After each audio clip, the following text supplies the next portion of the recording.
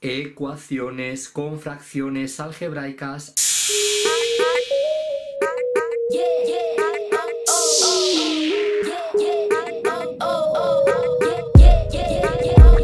Tenemos la siguiente ecuación.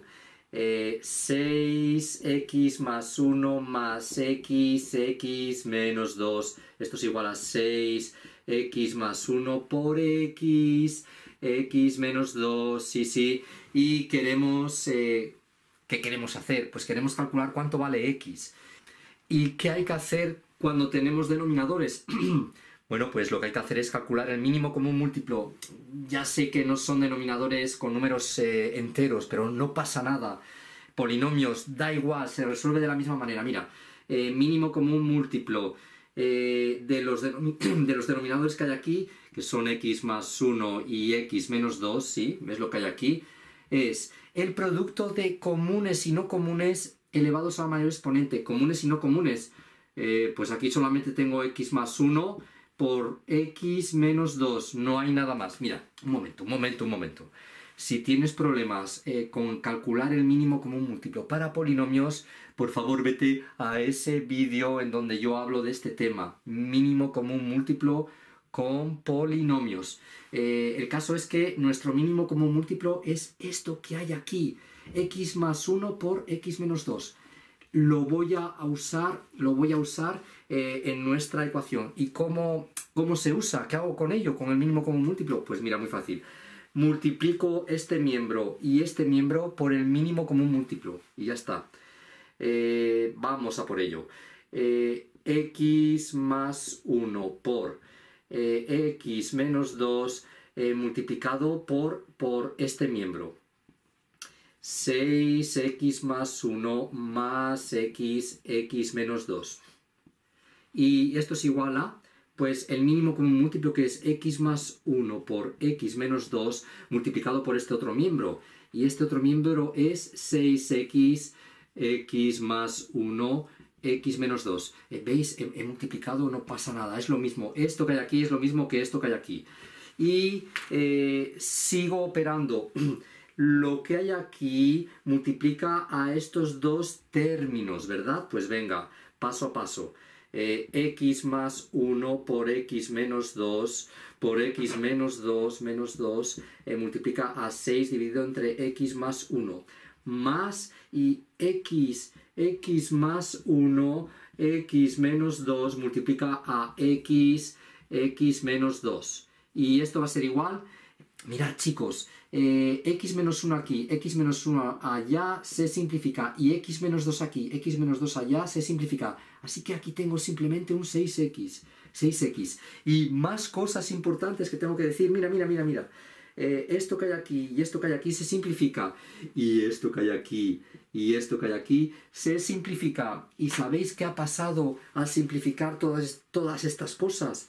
Pues lo que ha pasado es que ya no tenemos denominadores.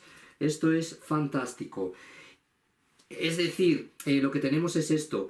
x menos 2 multiplicado por 6 más x más 1 multiplicado por x y esto igual a 6x. Bueno, pues voy a seguir operando y veré que eh, voy a conseguir una ecuación de segundo grado, pero vamos a hacer esto paso a paso. 6 eh, multiplicado por x menos 2 es 6x menos 6 por 2, 12, menos 12. Y esto es más x por x al cuadrado, x por x, x al cuadrado, y x por 1 es x, igual a 6x. Esto es una ecuación de segundo grado. Voy a agrupar eh, todo porque a mí me interesa eh, tener una ecuación que tenga el siguiente aspecto. ax cuadrado más bx más c igual a 0. Eh, quiero que esta ecuación, que es de segundo grado, quiero que esta ecuación se parezca a esto que hay aquí. Eh, esta es la forma de las ecuaciones de segundo grado, bueno, en forma continua. Venga, sigo dando pasos. vamos a ver, tengo aquí 6x y aquí tengo x, ¿verdad? Así que puedo escribir esto como x al cuadrado más 7x menos 12 igual a 6x. Y aquí tengo 6x, me interesa tener un 0. Así que eh, puedo hacer lo siguiente. x cuadrado más 7x menos 6x menos 12 igual a 0. ¿Sí? Sí, sí. ¿Y qué más? ¿Qué más? Bueno, pues el último paso. x al cuadrado, haciendo esta operación, será más x menos 12 igual a 0. Se ve perfectamente. Lo que tengo que hacer ahora es resolver esta ecuación de segundo grado. Mirad, esta ecuación que hay aquí es equivalente a esta ecuación de segundo grado. Y esto es lo que tengo que hacer ahora. Y cuando lo haya hecho, habré terminado el problema, en la ecuación esta. Necesito espacio. Necesito espacio, luego voy a borrar. Como puedes ver, he borrado todo y me dispongo a resolver esta ecuación muy fácil de segundo grado. Eh, bien, voy a recordar esto. a cuadrado, a, x cuadrado más bx más c igual a 0. Estas ecuaciones pueden ser resueltas utilizando la famosísima eh, fórmula de las ecuaciones de segundo grado x igual a menos b más menos raíz cuadrada de b cuadrado menos 4ac partido de 2a. Bien.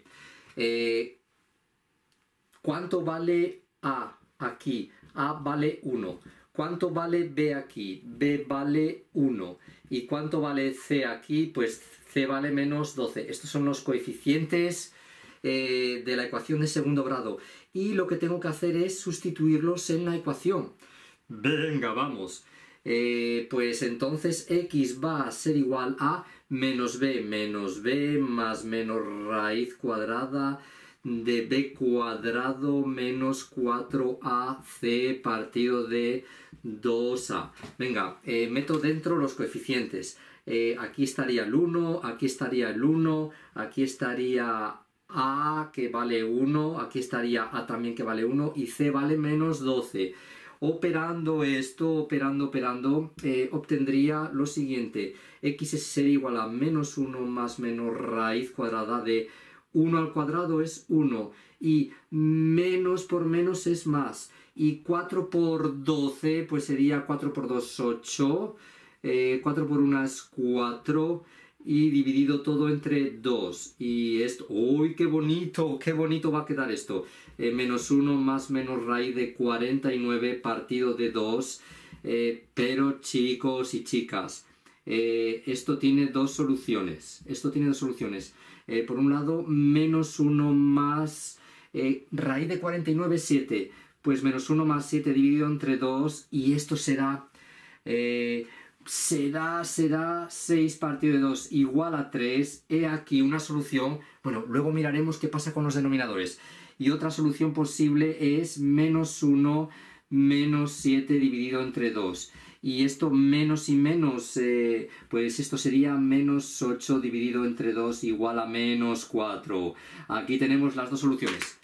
Una cosa importante, si hubiéramos obtenido, por ejemplo, x igual a menos 1, eh, esta solución no valdría porque eh, menos 1 aquí hace que el denominador sea 0 y esto no puede ser. Y si hubiésemos obtenido, si hubiésemos obtenido por ejemplo, ahí eh, pues 2, tampoco valdría esta solución porque el 2 hace que este denominador valga 0. Y eso tampoco puede ser, bueno, este denominador y este denominador.